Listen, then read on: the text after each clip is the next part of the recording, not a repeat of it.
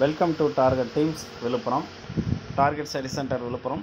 Target text book online test batch ஆறாம் வகுப்பு பொதுத்தமிழ் சமூக அறிவியல் கணிதம் ஆகிய தேர்வுகளை நாம் வகுப்பு வாரியாக தேர்வு எழுத போகிறோம் அந்த வகையில் ஆறாம் வகுப்பு சவாலில் பொதுத்தமிழில் ஆயிரத்தி இரநூறு வினாக்கள் அதாவது பன்னெண்டு தேர்வுகள் நூறு நூறு வினாக்கள்.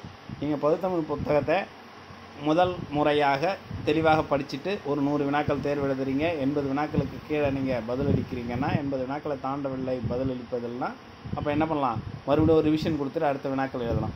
ஸோ அப்படி ஒரு இருபத்தி மூணு வினாக்கள் மட்டுமே நூறு வினாக்களுக்கு பதிலளித்த ஒரு தேர்வர் சமீபத்தில் இந்த பேட்சில் சேர்ந்து அவர் பத்தாவது தேர்வை எழுதுவதற்குள் தொண்ணூறு மதிப்பெண்ணை கடந்திருக்கிறார். அப்போ ஒவ்வொரு தடவையும் அவங்க ரிவிஷன் கொடுத்து கொடுத்து கொடுத்து புது புது கொஷின்ஸை டெஸ்ட் எழுதுகிறப்ப அந்த ஆயிரத்தி இரநூறு மார்க் எழுதும் பொதுத்தமிழ் ஆறாம் வகுப்பிலிருந்து கேட்கக்கூடிய எந்த கேள்வியாக இருந்தாலும் நீங்கள் அட்டம் பண்ண தயாராகலாம். அதேமாரி ஆறாம் வகுப்பு வரலாறு பள்ளி பாடப்புத்தகத்திலிருந்து ஐநூறு வினாக்கள் ஐந்து தேர்வுகள் இன்னும் வினாக்கள் எடுக்க வேண்டியிருக்கு. அது கொஞ்சம் கொஞ்சமாக ஒர்க்கு போய்கிட்டு இருக்கு. அதை சேர்த்து கொடுப்பாங்க. ஸோ குடுமியல் ஐந்து வினாக்கள் ஐநூறு வினாக்கள். குடுமியலை பொறுத்த வரைக்கும் ஆறாம் வகுப்பில் இந்த ஐநூறு வினாக்களை தவிர வேறு எந்த கேள்விகளும் கேட்க முடியாது அந்த அளவிற்கு அனைத்து வினாக்களும் கேட்கப்பட்டிருக்கிறது. ஸோ வரி வரியாக கேள்விகள்.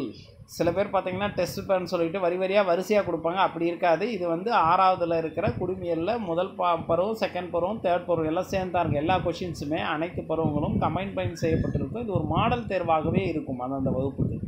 ஸோ அப்போ பார்த்தீங்கன்னா புவியியல். புவியியலில் இன்னும் வினாக்கள் எடுக்க வேண்டியிருக்கு. ஆனால் இரநூறு நாட்கள் இடையில் வினாக்கள் தயார் செய்து அப்டேட் பண்ணுவாங்க. ஸோ இரநூறு வினாக்கள் புவியியல் பொருளாதாரம் ரெண்டும் சேர்த்து பொருளாதாரம் நமக்கு ஒரே ஒரு பாடம் தான் அதில் ஒரு இருபது முப்பது வினாக்கள் தான் இருக்கும். ஸோ அதனால் புவியியலும் பொருளாதாரமும் சேர்த்து ஒரு நூறு வினாக்கள். டோட்டலாக பார்த்தீங்கன்னா இப்போ இரு ரெண்டாயிரத்தி ஐநூறு வினாக்கள்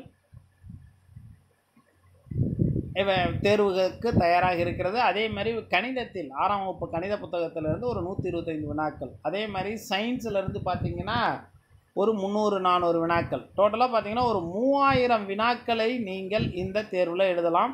பொதுத்தமிழ் சமூக அறிவியல் சயின்ஸ் இந்த டிஸ்பிளேயில் உங்களுக்கு சயின்ஸும் மேக்ஸும் இல்லாமல் இருக்கும். ஸோ இதையெல்லாம் சேர்த்து ஒரு மூவாயிரம் வினாக்கள் இருபத்தஞ்சி இன்ட்டு நூறு கொஸ்டின்ஸ் ஸோ முப்பது இன்ட்டு நூறு கொஷின்ஸ் அப்போ மூவாயிரம் வினாக்கள் ஒரு மாதம் உங்களுக்கு டைமு இதுக்கான ஃபீஸ் பார்த்தீங்கன்னா just three hundred online test admission நடைபெறுகிறது. ஆறாம் வகுப்பு சவாலை ஏற்க நீங்கள் தயாரா? அனைத்து விதமான போட்டித் தேர்வுகளையும் நீங்கள் எதிர்கொள்ளும் வகையில் தான் இந்த வினாக்கள் அமைக்கப்பட்டிருக்கு. Group two group two A group three group seven group four VAO EO TRB TET paper one paper two so ஆறாம் வகுப்பு சவாலுக்கு நீங்கள் தயாரா?